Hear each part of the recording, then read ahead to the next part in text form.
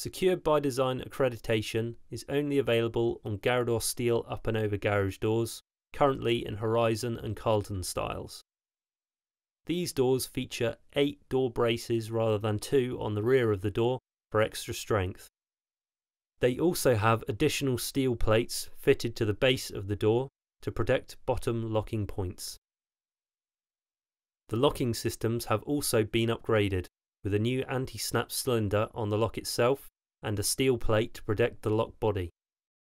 These doors can be supplied in a choice of any one of seven standard colours, with either canopy or retractable gearing. These doors are available in a range of standard and purpose-made sizes.